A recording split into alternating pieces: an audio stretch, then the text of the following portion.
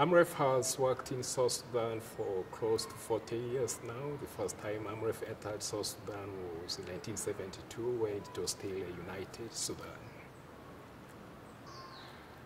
In terms of our program reach in South Sudan, AMREF operates in all the 10 states of South Sudan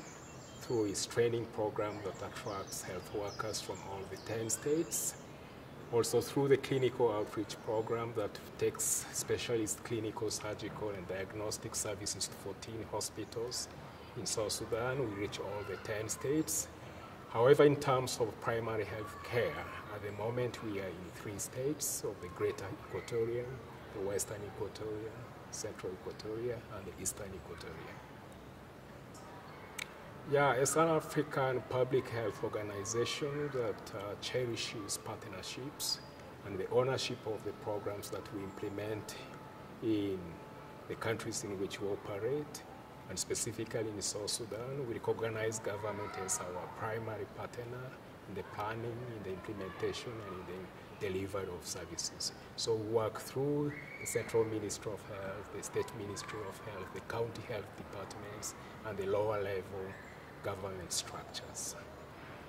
Apart from working with government, we also recognize that there are other actors in the provision of health services outside the government that include the UN system, we work with partners like the World Health Organization, UNICEF. Uh, there are bilateral and multilateral agencies that also support our interventions in South Sudan, like USAID, which supports quite a number of our primary health care interventions, the European Union that supports our maternal and child health interventions, as well as DFID, amongst other partners, and CIDA, the Canadian International Development, and as well as other community-based organizations, national NGOs, faith-based organizations, and so forth. Because community system strengthening is one of the building blocks of the healthcare system, um, AMREF recognizes the importance of the communities in being part and parcel in the identification of community health programs, in planning together,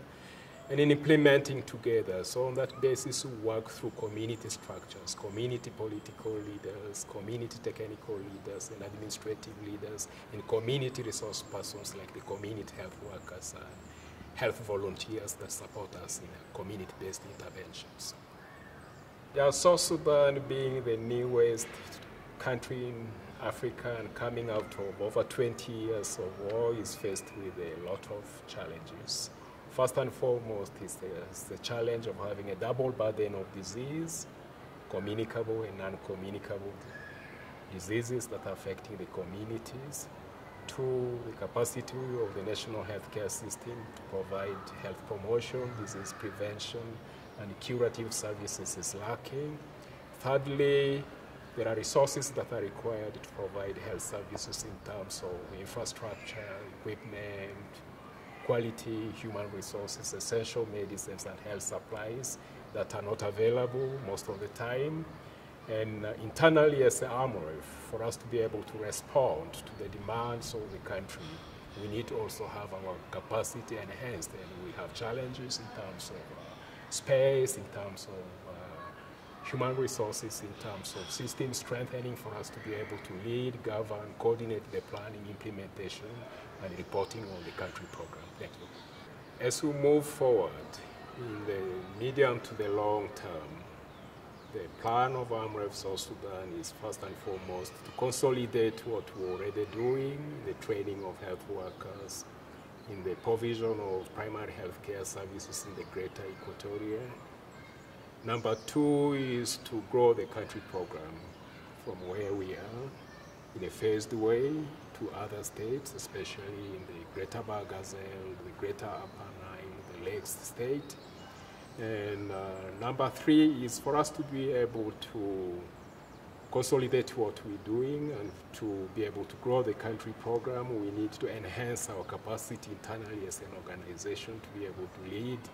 the country program, to be able to plan well, to be able to mobilize the resources, both financial and non-financial resources to grow the country program,